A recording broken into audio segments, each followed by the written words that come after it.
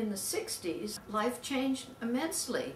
And I think it changed in many different ways. First of all, many of us got politically passionately involved at the time of Kennedy, and we saw the possibilities of a new era and the things that we believed in, many of us were liberals, uh, possibly coming to pass.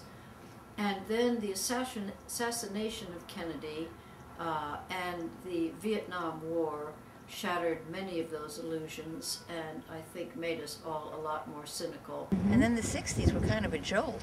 Really, our lives in the real world began in the 60s. I felt more at home than I had Mhm. ever before. Mhm. Uh, I felt that it was a form of recognition rather than a form of, of transformation. It made me very optimistic. in the 60s were the Liberating time. well i felt very comfortable in the 60s Mm-hmm. Yeah, me too. yeah and Did you find that the 60s changed you a lot?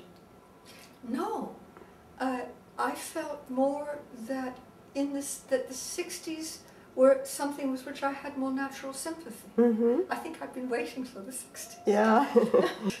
I think of the 60s, and of course, all the political turmoil, I never even got my head above water because I had three children, 18 and 22 months apart. And I just remember the 60s, and I think the, all the protests just went over my head. I was thinking lucky to survive. I was so tired. So I often think about that, that here we lived through these, you know, very interesting decades, and I never, um, Never were a participant. no, and I don't think I would have been. I'm, Mhm. I've always been, you know, more middle of the road and not rock the boat. I probably, although I'd have gone to um, some pro-choice. I, did, did the 60s affect you? It really didn't. The 60s were when our three children were born. Mm-hmm. And I was, and besides having the three children and just being so involved in school, Hmm. we were settled enough. So the whole idea really wasn't part of my life. Did you change at all in the 60s when, when you know, things sort of opened up and... well not really because i was living in california in this little town i mean the 60s passed me by Oh. i mean you know uh, that, that, uh, they might as well not have happened. They Mhm. didn't happen in Sonora, California, put it that way. Except we did have a visitation from the Hells Angels one day that disrupted the entire town. I shared pot with people Mhm. in the '60s a couple of times, uh, but it made me terribly hungry for what that.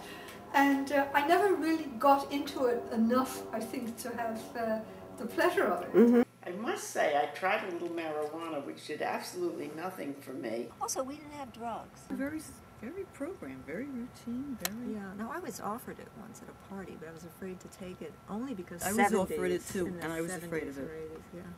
I was afraid of becoming addicted.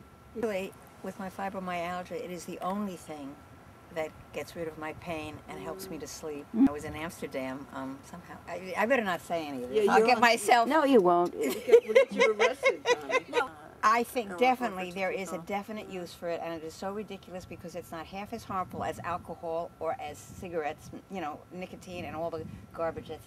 So, anyway. And then the women's movement began getting going, and by 1968 and beyond, uh, we began to wake up. And for myself, I can say that it was a big wake up call